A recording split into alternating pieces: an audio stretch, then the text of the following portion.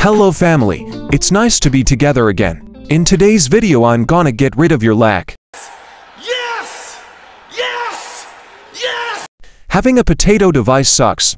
I totally understand that. While some are playing, enjoying the game and earning kills, some are wondering how they can get the best gaming experience possible, while you are FPS, also known as frame rate per seconds, and MS also known as milliseconds or ping, play a big role in giving the best gaming experience, as it can affect a player's reaction time and aim ability. If you want to make the best of your gaming time then don't worry.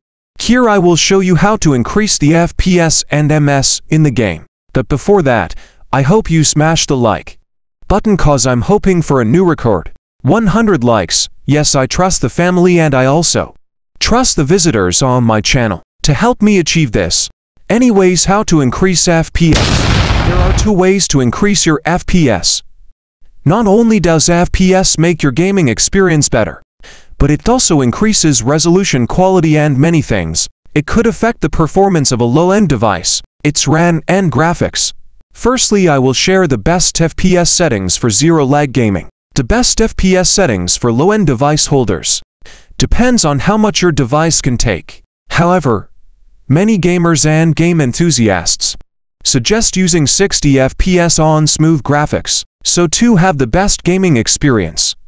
Here is one of the best FPS settings. For the graphics you'll have to leave it on smooth. Farlight is a beautiful game. Its high detailing and enhanced color display. It amuses me how this game can even run on mobile devices. Wanting to enjoy the game at extreme graphics can be tempting especially in a game like Farlight, but for low-end devices, this can cause lag. Yes, I know, you want to enjoy the experience. That the main aim of the game naturally is just to kill players and win a match. So just make a little sacrifice.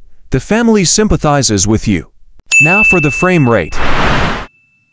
You should know all the frame rate settings give different FPS. Low gives 20 FPS. Medium gives 25 FPS. High gives 30 FPS. Very high gives 40 FPS.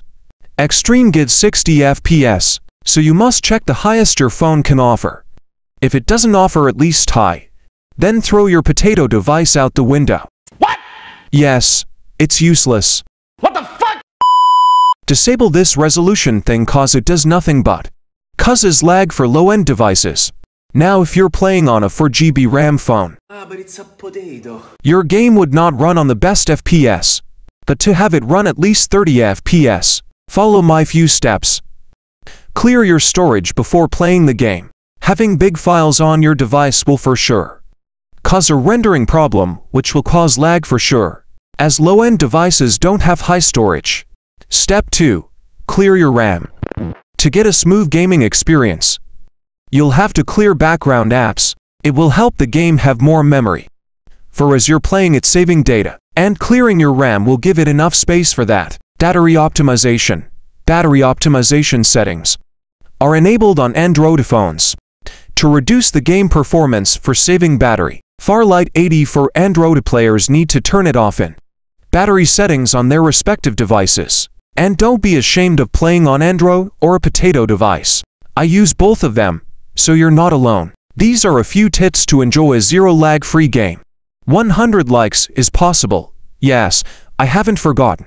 Smash that like button and don't forget to leave a comment about what seems so hard for you in the game, and I'll make a video to solve your problem. Thank you for joining the family gathering. I'll see you awesome people in the next one. Enjoy my bot gameplay.